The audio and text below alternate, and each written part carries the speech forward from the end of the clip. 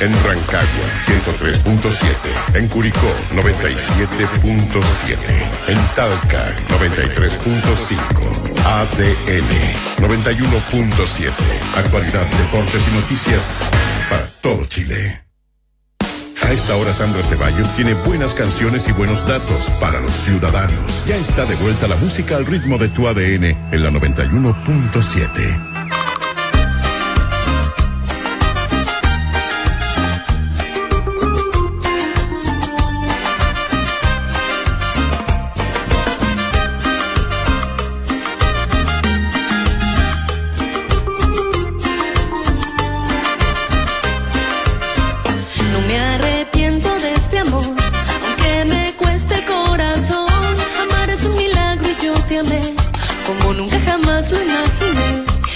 arrancarme de tu piel, de tu recuerdo? Estamos escuchando uno de los grandes éxitos de la tremenda y lamentablemente desaparecida Gilda, pero interpretada por Natalia Oreiro, una artista uruguaya, española, argentina, que tuvo el placer de encarnarla en el cine con mucho éxito. Fue lo último que hemos visto de ella aquí en Chile, pero la tenemos de regreso y aquí en el Ciudadano ADN. Natalia Oreiro, bienvenida y muchas gracias por estar con nosotros. Al contrario, siempre es un placer regresar a Chile. Bueno, muchas gracias por, por los piropos acerca de la película de Gilda. Fue un sueño para mí poder hacerla. Esperé realmente muchos años. La admiro profundamente y sí fue la última película que filmé. De hecho, la próxima va a ser una remake de una película chilena. Así Exacto, que- sin filtro. Exactamente. Ahí te vamos a ver gritando y un poco loca, Sí, ¿no? Sí, sí, sí. Pero, pero bien, bien, sin filtro, diciendo las cosas como son.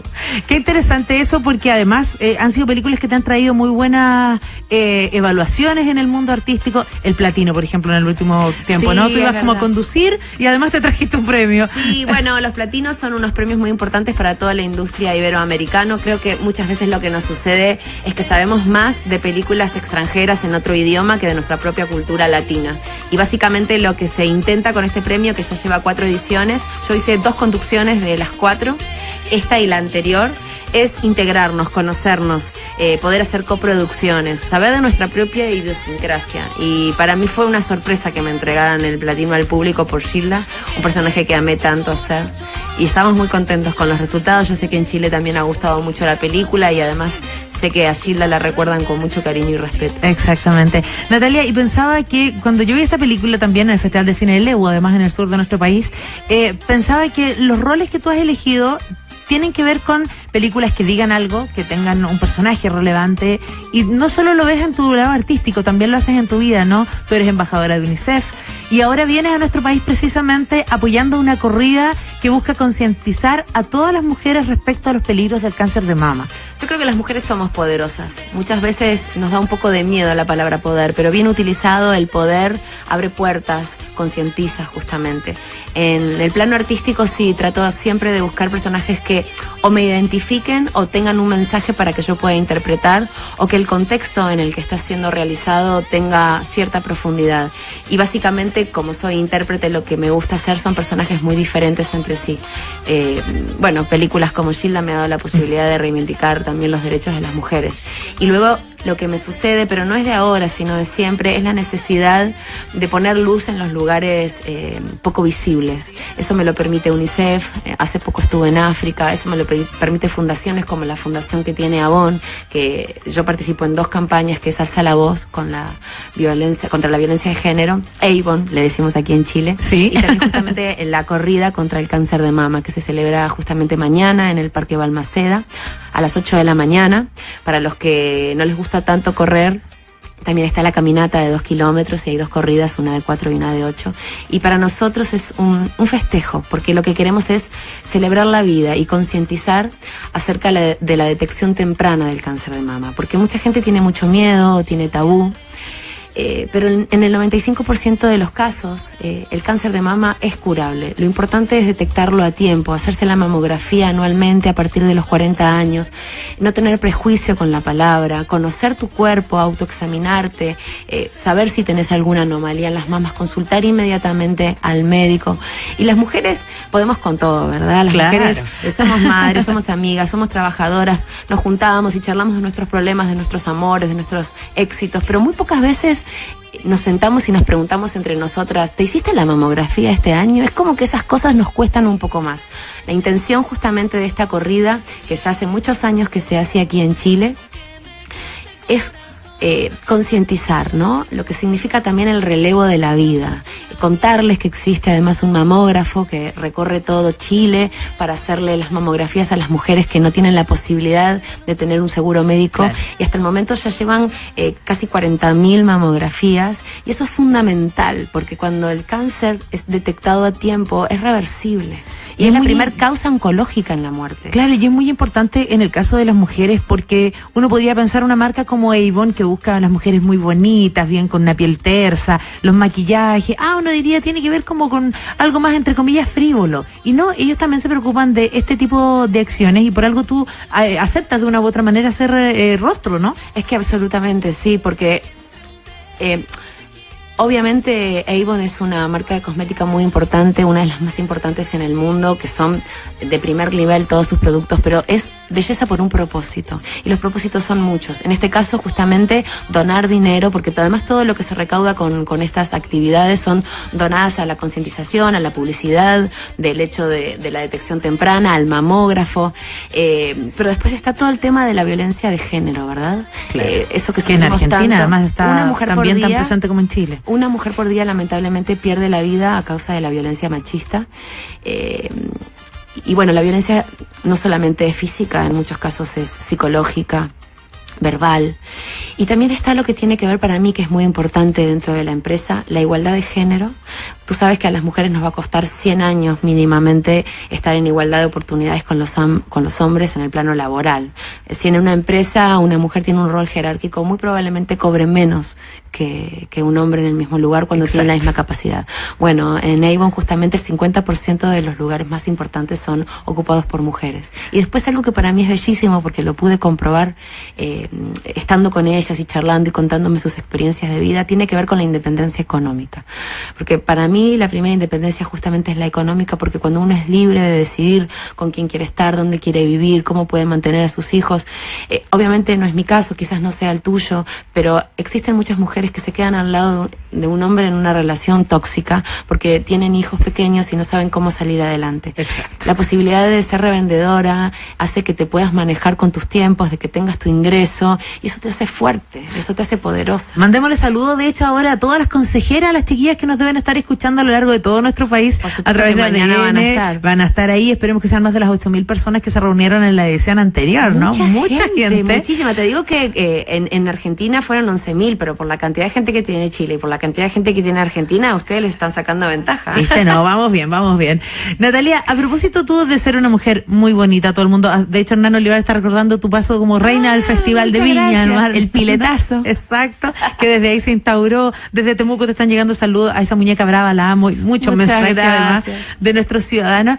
Eh, yo recuerdo haber ido a Argentina hace muy poco a propósito del concierto de Violeta Parra que se hizo en el Violeta Teatro Colón, el homenaje. Acabo de justo de, de- de- de poner en, en- en un sitio que yo tengo en Rusia. eh, yo no tengo redes sociales, pero Sí, tengo una en, en Rusia porque es mi manera de estar cerca de ellos.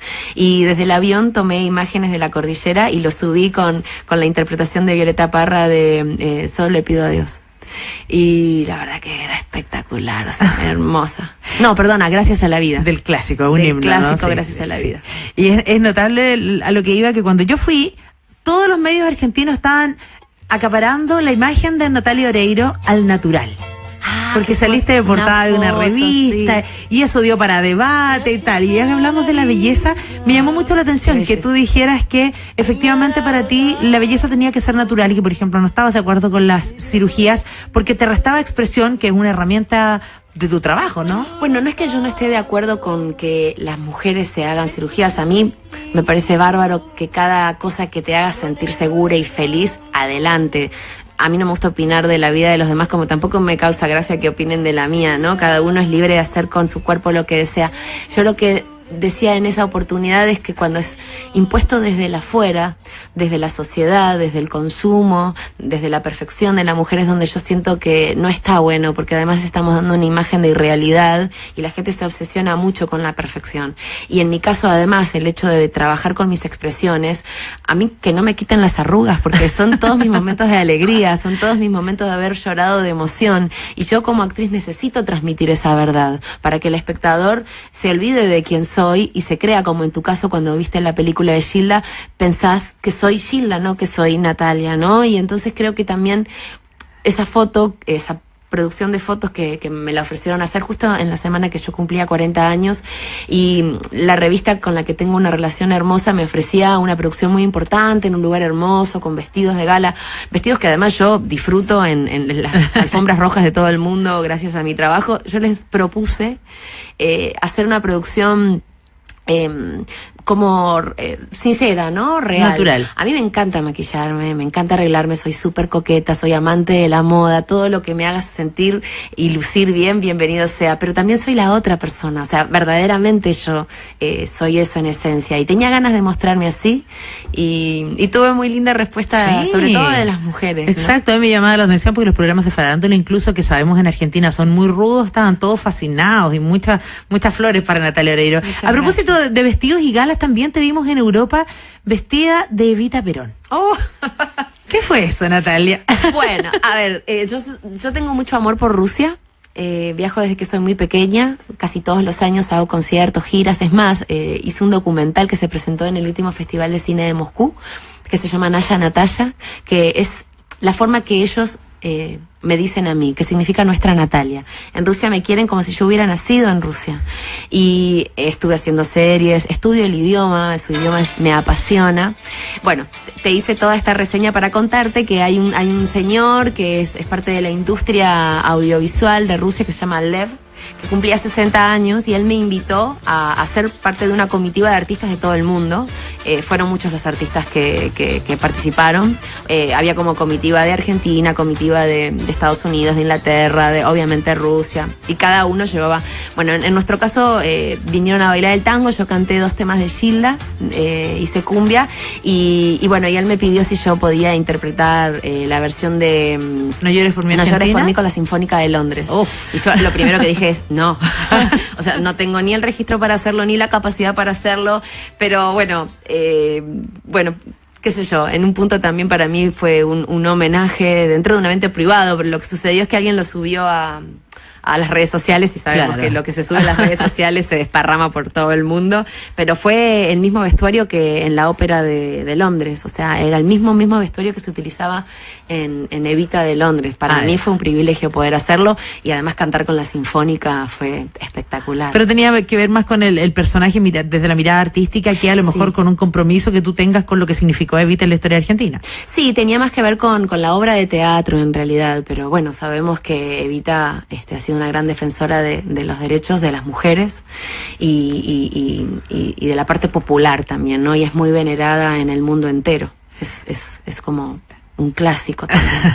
Natalia, bueno, se nos acaba el tiempo. Mucho éxito. Recordemos mañana, entonces, desde las 8 de la mañana van a estar todos ahí invitados para ser parte de esta caminata, la versión 21 ya, de la Sí, corrida muchísimos caminata. años. Chile ha Sí. sido uno de los primeros en Latinoamérica que se ha unido con esta caminata y también quiero invitarlos a los hombres, eh, a la familia entera, porque esta eh, no es una corrida de las mujeres, es una, es una corrida de todas las familias. Así que los que no se hayan anotado, no se preocupen, pueden venir y pueden participar de todas las edades, realmente lo vamos a pasar muy bien, hay un escenario, va a haber música, vamos a celebrar todos juntos y no se suspende por lluvia. Fantástico. Oye, ¿y cuándo empezamos con eh, empezamos? Empezamos con el rodaje de Sin Filtro. En ya? enero. Ahí empiezas a meterte en el, en el Sí, sí, personaje. ya estamos trabajando, ya estamos trabajando el personaje, a mí me encantó la versión chilena. Bueno, mucho éxito entonces y muchas gracias. Al bien. contrario, un beso muy grande para todos ustedes y gracias por este momento. De repente una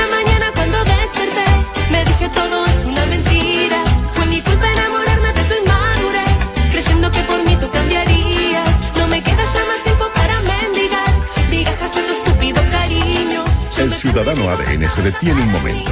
Ya vuelve Sandra Ceballos con más música al ritmo de tu ADN en la 91.7. Fuiste mi sueño, mi mejor canción, todo eso fuiste,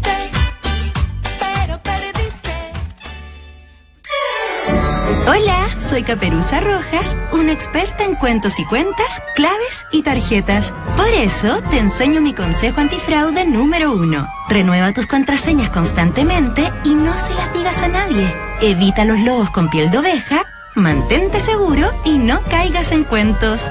Ya lo sabes, protégete. Síguenos y aprenda a cuidar tus claves y tarjetas en facebook.com slash somos Avif. Asociación de Bancos. Comenzó el 18 chico en Autosumi. Aprovecha este imperdible alargue 10